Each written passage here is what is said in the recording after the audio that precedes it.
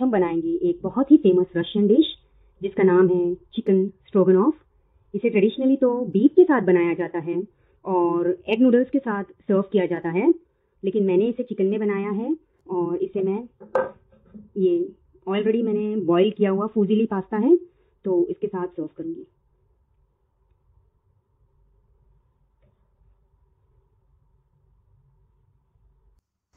Hello everyone, welcome to Spices and Cheese with Samreen Taha. Please like and share my videos and subscribe my channel for delicious recipes. Thank you. Chicken stroganoff बनाने के लिए हमें चाहिए होगा 250 gram chicken ये boneless है और मैंने इसे स्लाइसेस में कट कर लिया है ऐसे स्टीक्स जैसा। 250 ग्राम ही मैंने मशरूम लिया है। ये भी मैंने थिक स्लाइसेस में कट कर लिया है। एक कप मैंने प्याज ली है, जो बारीक कटी हुई है। आधा टीस्पून मैंने मस्टर्ड सॉस लिया है।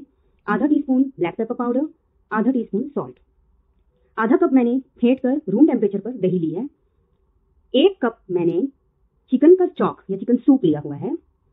एक कप भरकर मैंने फ्रेश क्रीम या मलाई ली है। एक टेबल स्पून बटर एक टेबल स्पून वूस्टरशर सॉस ये ऑप्शनल है, अगर आपके पास है तो डालें, ना है तो ना डालें। गार्निशिंग के लिए मैंने स्प्रिंग अनियन के लीव्स कट करके ले लिए, ये दो टेबल स्पून तक है। एक टेबल स्पून बारीक कटा हुआ लहसन लिया है। दो टेबल स्पून मैंने मैदा लिया है। सो लेट स्टार्ट कुकिंग सबसे पहले मैंने एक पैन लिया है नॉन स्टिक पैन है, और इसमें मैंने ऑयल दो टेबल स्पून डाला है और उसे गर्म कर लिया है। और मैं अब इसमें चिकन के पीसेस डालूँगी और इसे अच्छी तरह से फ्राई करूँगी। चिकन कुक हो जाने तक के मैं इसे फ्राई करूँगी, सारे पीसेस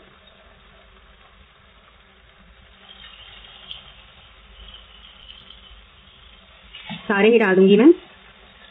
ऐसे हाई फ्लेम पर ही फ्राई करूँगी। और जस्ट आधा टीस्पून तक सॉल्ट डाल दूँगी। दस मिनट हो गए हैं और दस मिनट से ये मैं कंटिन्यूस इसे पका रही हूँ चिकन को और चिकन ने बहुत सारा पानी और जूसेस छोड़ा है। तो मैं अब गैस बंद कर दूँगी। ये हाई फ्लेम पर पक रहा था। अब मैं गैस बंद कर दूँगी। और ये पूरा इसके जूसेस के साथ और ये पूरा जो पानी है इसके साथ ही मैं इसे एक प्लेट में खाली कर लूँगी और इसे साइड में रख दूँगी। आप देख सकते हैं। बहुत सारा पानी निकला है और ये मैं सब एक साइड में रख दूँगी। सेम पैन में मैंने एक टेबल स्पून ऑयल लिया है और उसी में मैं एक टेबल स्पून बटर डालूँगी। और बटर मेल्ट होने के बाद मैं इसमें अनियंस डालूँगी।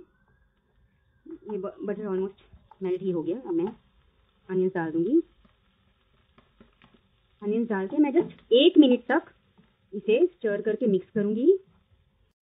एक मिनट तक प्याज को मैंने बटर में फ्राई किया है। अब इसमें मैं मशरूम्स डाल दूँगी। और मशरूम्स डाल के इसे अच्छी तरह से स्टर करूँगी। और जब तक ये गोल्डन ब्राउन नहीं हो जाता है, तब तक हाई फ्लेम पर इसे मैं पकाते रहूँगी ओकेजनली स्टर कर करके।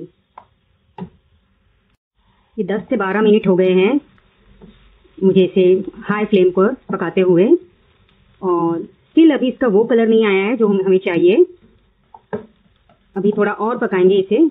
गोल्डन ब्राउन की तरफ़ थोड़ी देर में आ जाएगा बस। तब तक हम इसमें ये जो गार्लिक है, ये डाल देंगे। गार्लिक डाल के मैं सब साथ में स्टर करूँगी। आई गेस बस पाँच मिनट और लगेगा, ये परफेक्ट कलर पे आ जाएगा, जो हमें चाहिए विच इज़ गोल्डन ब्राउन लगभग पंद्रह मिनट तक मैंने इसे हाई फ्लेम पर बनाया है। तो आप ये मशरूम का कलर देखिए, सब तरफ़ से ब्राउन कलर का ये हो चुका है फ्राई होकर। तो अब हम इसमें फ्लेम हाई ही रखेंगे और ये चिकन स्टॉक डाल देंगे। अभी चिकन स्टॉक के साथ इसे सिमर करेंगे ज़रा। मैं इसमें अब चिकन स्टॉक डालने के बाद मैदा डालूँगी और इसे अच्छी तरह से स्टर करूँगी। ताकि इसमें कोई लम्स ना आ जाए।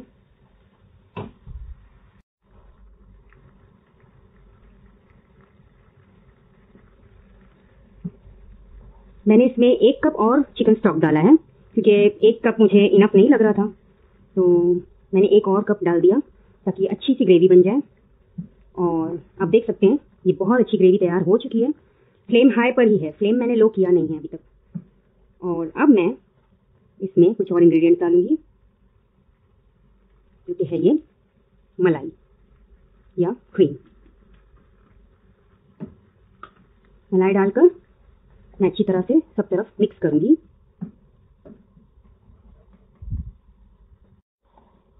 फ्रेश क्रीम डालने के बाद मैंने दो मिनट इसे स्टर किया है और अब मैं फ्लेम स्लो कर रही हूँ और स्लो फ्लेम पर मैं ये अच्छी तरह से दही फेंट कर डाल दूँगी। और दही डालने के बाद मुझे जल्दी से इसे मिक्स करना होगा ग्रेवी के साथ। नहीं तो दही पानी छोड़ देगी या कर्डल हो जाएगी तो अच्छा नहीं लगता है। दही डालने के बाद मैं स्लो फ्लेम पर इसे इस तरह से मिक्स कर रही हूँ। इस तरह से मिक्स करने पर ये दही फटेगी नहीं।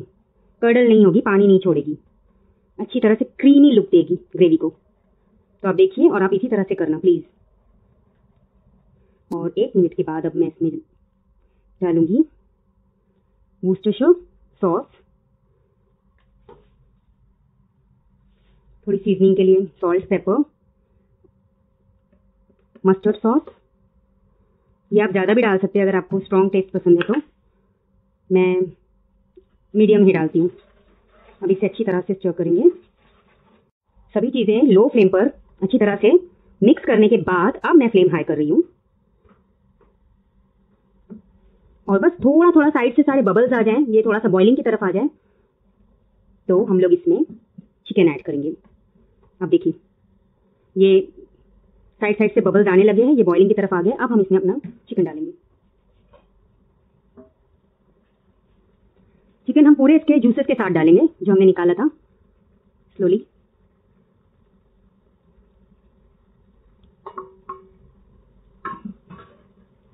पाँच मिनट तक हाई फ्लेम पर मैंने इसे चिकन डालकर पकाया है। अब मैं इसे स्लो फ्लेम करके कवर करके फाइव मिनट्स और पकाऊँगी। पाँच मिनट तक लो फ्लेम पर मैंने इसे कवर करके पकाया है और अभी इसे अनकवर किया है और ये परफेक्टली पक चुका है। अब मैं इसे गार्निश करूँगी स्प्रिंग अनियन लीव्स के साथ, ये जो चॉप्ड हैं।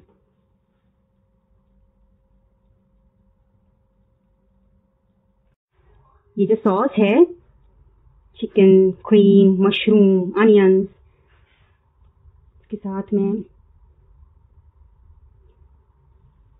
ये पास्ता पे सर्व करूँगी। आप कोई भी पास्ता ले सकते हैं। आप एग नूडल्स के साथ भी सर्व कर सकते हो। आप मैश्ड पोटेटोज के साथ सर्व कर सकते हो। आप राइस के साथ सर्व कर सकते हैं। आप इसे गार्लिक ब्रेड के साथ सर्व कर सकते हैं। You can serve it with anything which you like can you see the goodness the yumminess देखने में ही इतना खूबसूरत है ये। और chicken stroganoff is ready to serve और ये बहुत ही यमी बना है और मैंने इसे फूजली पास्ता के साथ सर्व किया है and it is really scrumptious अगर आपको मेरी रेसिपी पसंद आई है तो प्लीज़ इसे लाइक कीजिए, मेरे वीडियो को शेयर कीजिए और मेरे चैनल को सब्सक्राइब कीजिए और बेल आइकॉन दबाना ना भूलें. Thank you